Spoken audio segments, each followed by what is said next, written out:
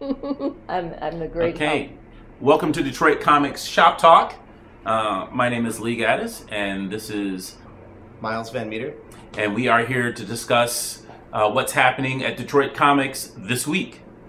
Miles, what do we have this week? Uh, this week, uh, we have um, a whole load of Marvel comics. They've been unloading number ones like every week for the past like month or so, and they're going to be unloading them for another month after after this. So like Daredevil number one just came out, and that was a hot one. Um, but then you you know you have a lot of like a lot of the new X Men books Okay. coming out this week, and some of the Inhumans, and uh, Doctor Strange number three came out. So some are some are a little bit behind, some are a little bit you know still coming out. You know, um, I think Doctor Strange is one of the more more interesting books Mhm. uh, that Marvel has unleashed on this new.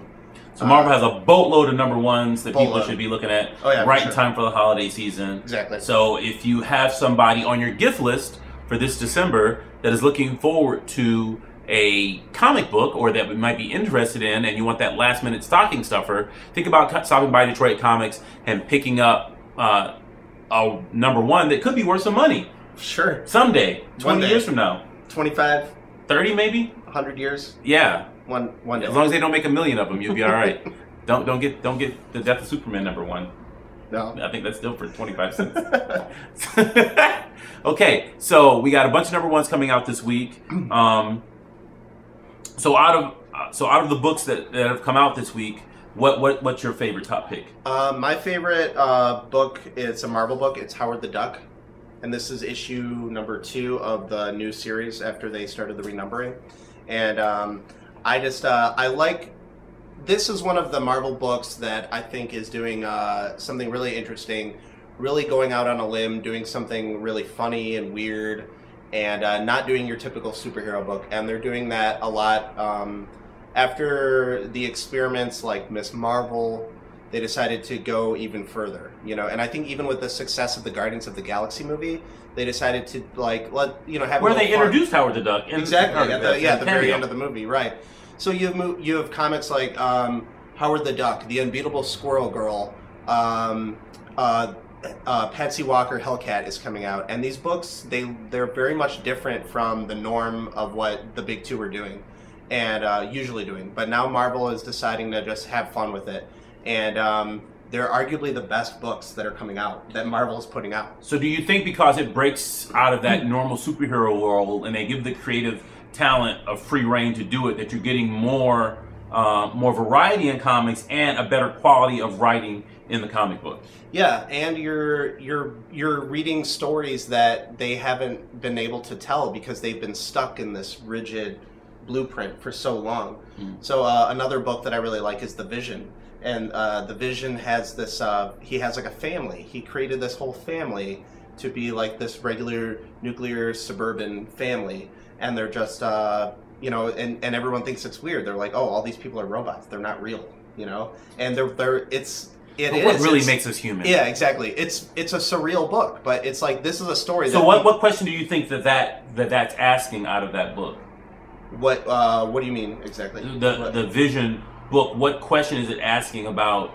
Like he wants to create a family. Obviously, he's he's a sentient being, right? Yeah, yeah, Right. yeah, right. and I he's mean- humanoid. But there's other humanoids living uh, in Earth society that aren't humans. I think it's just a matter of he wanted he wants to disconnect himself from the world that he had before Mm-hmm. in more ways than one, Mhm. and in this way he just wants to be normal. Fascinating. Yeah. So if that's your thing and you want something a little different, Miles recommends Howard the Duck and and and, And a lot of a lot of their new books. a lot of new Right, books. So yeah. come into Detroit Comics and check it out and get Miles' rep, uh, recommendations. My recommendation is for um, Star Wars uh, Vader Down. Uh, I highly recommend this one. It's a really good one. It's reading it. I want when I finish it, I want it more. This to me uh, is is the closest you can get to a Star Wars movie without it being a Star Wars movie. It has that feel. The artwork is fantastic. The writing is superb. Um, I, I highly, highly, highly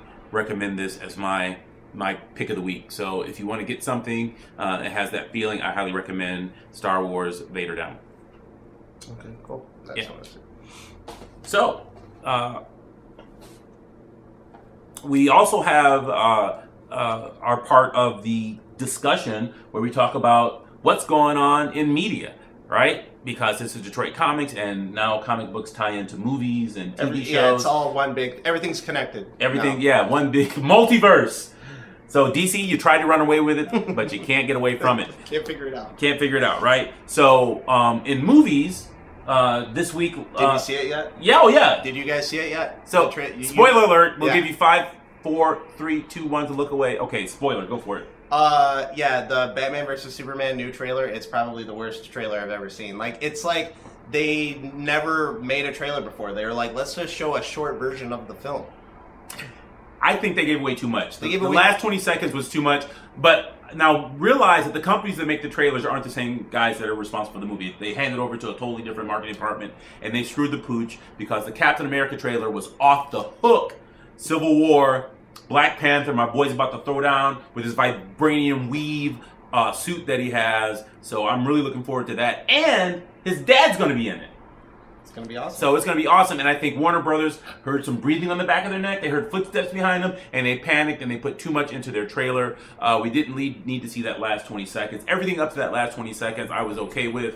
But again, you gave you gave away the movie, um, which has been a, a trend in movies lately, where you see the whole movie in the trailer. Yeah, but even even some movies that are you know a- a- offender, they're like offenders of that law that you can't show like the whole movie. Even they do it. Especially not the third act. It's di- yeah, they it's bad sometimes where I'm like I you know I scoff at it like oh they, they show too much.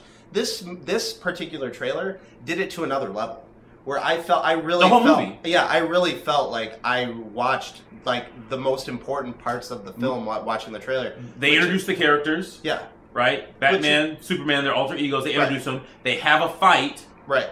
they introduce them again. Uh, they uh, they talk again, and then they have another fight, and they introduce the villain, the third act.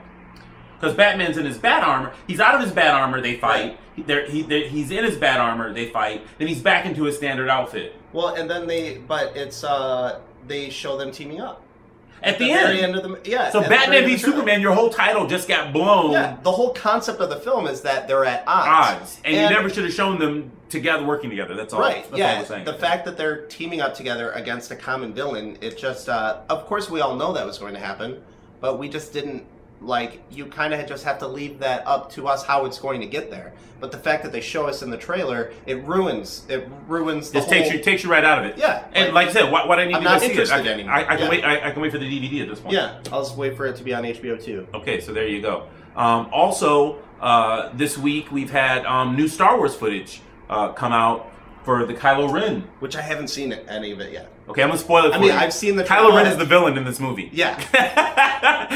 it's not Luke Skywalker, Oh shit. and and nor is it. Okay, look, the villain in the movie is Supreme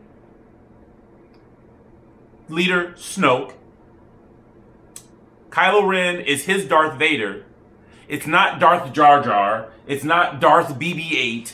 It's it's not and Luke Skywalker is not in the Kylo Ren. So all these guys with these wild, crazy um, ideas about you know plots about the movie. Just wait for the movie. Just wait for the movie Yeah. to come out and see it. Right? Don't don't. I mean, I to me, Star Wars is about to step over that line if they show any more. they're doing it. All right, I'll admit 'cause that they're that the they're oversaturating uh, us with the um, with the marketing.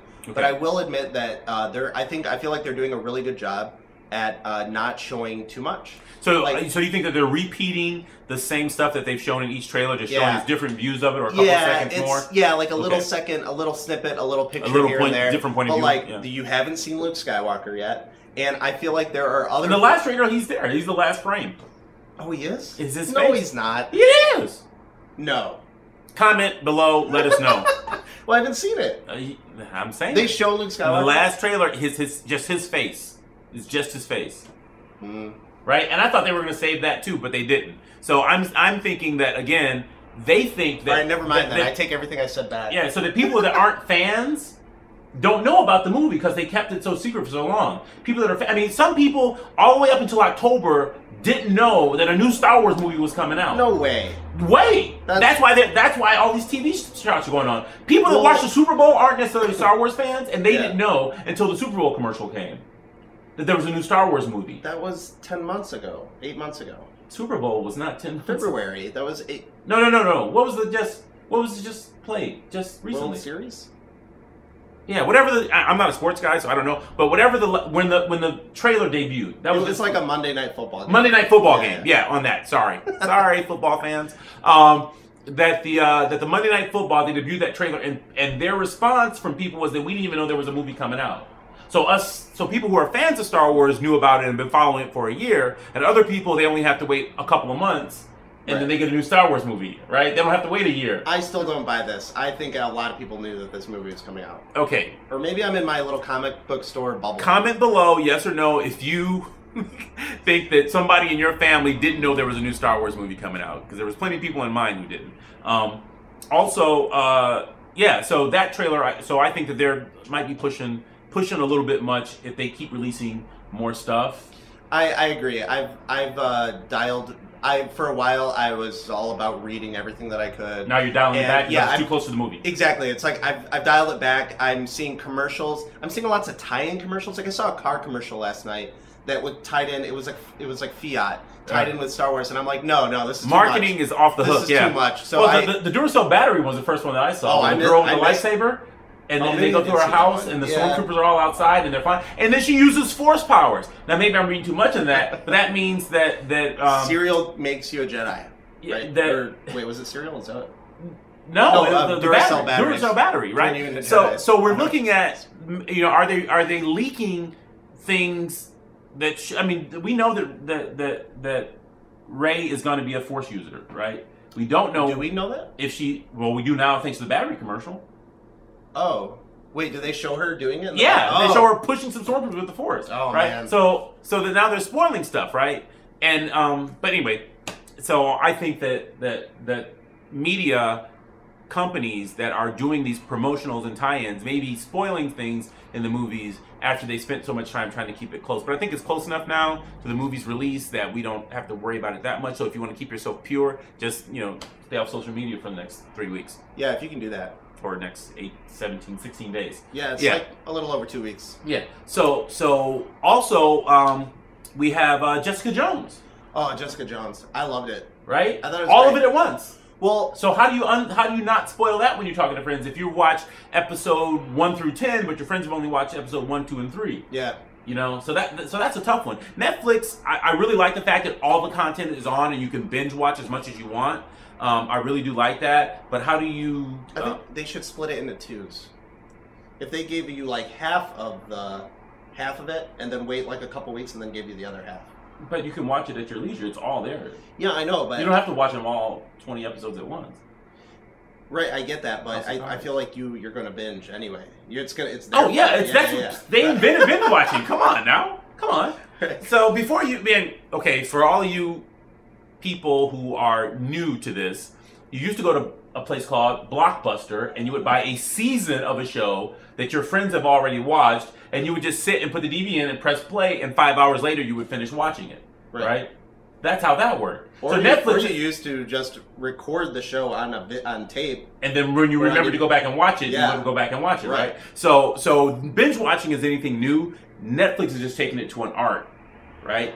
They release all Yeah. 20 episodes all at once of an entire season, so you watch it on your own level. And I like having that level of control. So if I want to watch four episodes in a row, I can. If I want to watch two episodes in a row, I can. Yeah. You know, so for me, I think that's a much better way to consume uh, the content. But the problem that you have is is when you're with a group of people like we do, like we get together Detroit Comics, and we talk about things. Some people have watched it, some people haven't. Some people have watched more than others. So you really have. So there's a lot of self censoring that has to go on. So that control now is in your hands about how much you want to reveal about a show with friends that are also watching that same show. But I know there's enough shows out that some a lot of people aren't watching the same thing or will be able to watch it. It won't even be a spoiler for them.